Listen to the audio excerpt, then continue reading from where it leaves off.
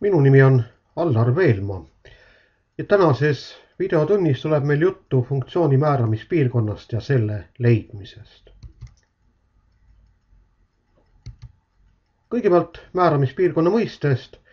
kui meil on funktsioon antud valemina, siis funktsiooni määramispiirkonna all mõtleme me seda, neid X-i väärtusi, mille korral on võimalik siis valemist funktsiooni väärtust arvutada loomulikult võib olla ka X-i asemel mõni teine muutuja, nii et aga kui me kasutame X-i, siis me räägime X-ist ja kui meil on muutuja mõni teine täht U, D, V, siis loomulikult räägime me selle tähe väärtustest. nii et jätame siis meelde, et funktsiooni määramispiirkonnaks me nimetame argumendi neid väärtusi, mille korral funktsiooni väärtust on võimalik siis arvutada ja vaatame ka mõningaid näiteid kõigepealt, kui meil on antud üks lineaarfunktsioon, siis loomulikult see lineaarfunktsioon on määratud alati, aga meil esimeses näites, vaadake, näete, on ruutfunktsioon. nii et ka see ruutfunktsioon on alati määratud, sellepärast et andes x-ile ükskõik missuguse väärtuse, loomulikult me saame selle funktsiooni väärtust välja arvutada, nii et mingit probleemi ei ole.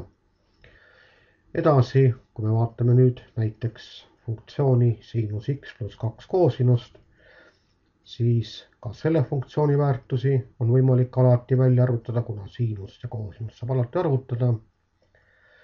kolmandas on meil üks lineaarfunktsioon, see, millega ma hetkel just alustasin, siis vaadake selle funktsiooni korral näete, on murd ja murru nimetus on kaks, kuid see kaks ei sega meid sellepärast et murru lugeja väärtust on võimalik alati arvutada ja kahega saab ka alati jagada, nii et määramispiirkonnaks on kogu reaalarvude hulk. eelviimases funktsioonis on tegemist siis murdlineaarse funktsiooniga. murru korral me teame, et murru nimetaja ei tohi olla null. järelikult x ei tohi olla kaks ja pool. ja me võime sellesama vastuse panna kirja ka siis vahemike abil, näete, et miinus lõpmatuses kahe koma viieni kahe koma viiest lõpmatusse kogu reaalarvude hulgast on siis välja visatud arv kaks koma viis. viimases funktsioonis näete, on ruutjuur ja me teame, et ruutjuurt me saame arvutada mittenegatiivsetest arvudest ehk siis lihtsamalt öeldes ruutjuur alla. Ei tohi tulla negatiivne arv, järelikult. Meile sobivad hetkel siis kõik arvud nullist lõpmatuseni ja null kaasa arvatud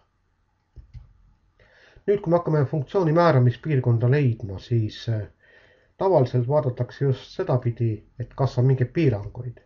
no mis saab olla piiranguks, kõigepealt murrud, murru nimetaja ei tohi loomulikult olla null. edasi, kas on tegemist juurtega, ruutjuur, neljas juur, nende juurte alla ei tohi sattuda siis negatiivne arv. edasi, kas on tegemist logaritmiga, mis tahes alusel noh, kui on logaritm mingil alusel, siis kõigepealt logaritmitav peab olema kindlasti positiivne arv. logaritmi alus samuti positiivne ja logaritmi alus ei tohi ka olla üks. edasi, kui on tegemist tangentsiga, siis me loomulikult mäletame, et tangentsit me ei saa leida nurgast üheksakümmend kraadi, aga ei saa ka leida siis sellisest nurgast, mis siis saadakse üheksakümnest kraadist või pi kahendiku radiaanist perioodi ehk siis pi radiaani juurde liitmisel või siis lahutamisel.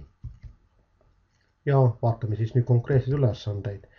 kõigepealt funktsioon, näete, on kahe juure summa. kõigepealt määramispiirkonna jaoks tekib meil piirang ruutjuure tõttu kaks x-i pluss kolm peab olema suurem võrdne nullist. nüüd lahendame selle võrratuse. X on suurem võrdne miinus ühe koma viiest ja määramispiirkond on meil järelikult miinus ühe koma viiest lõpmatusse, miinus üks koma viis sisse arvatud. ja vaadake, kuupjuure tõttu ei teki meil mitte mingisuguseid piiranguid, sest kuupjuurt saab igast arvust alati arvutada. järgmises funktsioonis on meil naturaalne logaritm ja e-astmes x, hakkame siis lõpust pihta, e-astmes x meil mingisuguseid piiranguid ei anna, sest alati saame ju eksponentfunktsiooni väärtust arvutada.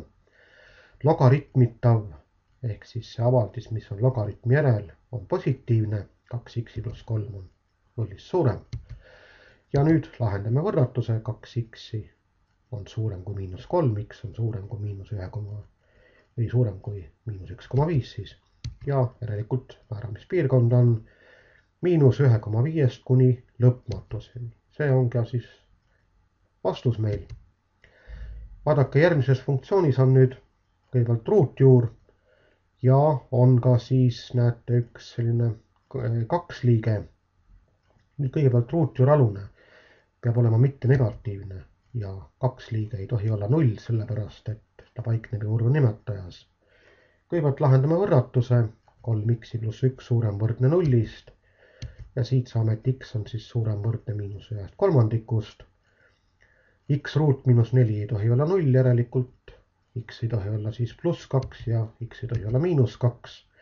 nii et kindlasti vaadake hästi hoolega, et ei unusta ära siin lihtsat tõsiasja, et ruutvõrrandil on alati kaks lahendit. nii, ja nüüd siis määramispiirkond vääramispiirkond on meil siis kõigepealt poollõik miinus ühest kolmandikust kaheni ning vahemik kahest lõpmatusse. ja arv kaks on siis näete mõlemal juhul välja arvatud. Nüüd vaatame sellist funktsiooni, kus on siis ruutjuur all murd ja murlugejas on näete x ruut miinus kolm x miinus neli oleks nüüd küllaltki mõistlik see ruut kolm liiget tegurdada. selleks me lahendame võrrandi x-i ruut miinus kolm x-i miinus neli kordub nulliga. selle võrrandi lahendid on miinus üks ja neli. ja me paneme siis, näete, selle võrratuse kirja nüüd. Nii et mul luges on korrutis ja lahendame siis intervallmeetodiga, nii et otsime siis neid arve, mille korral see murd on positiivne või võrdne nulliga. Ja võrdlus nulliga loomulikult peab paika siis, kui x on võrdne miinus ühega või x on võrdne neljaga, nii et kui te nüüd teete selle asja paberi peal läbi, siis te saate ilmselt samamoodi, et selle funktsiooni määramispiirkond on siis, näete, pool lõik siis miinus viiest kuni miinus üheni, ühend siis neljast lõpmatuseni, miinus üks ja neli on siis kaasa arvatud. ja sellega on meie esimene lühike videotund lõppenud, nii et kohtume siis järgmises videotunnis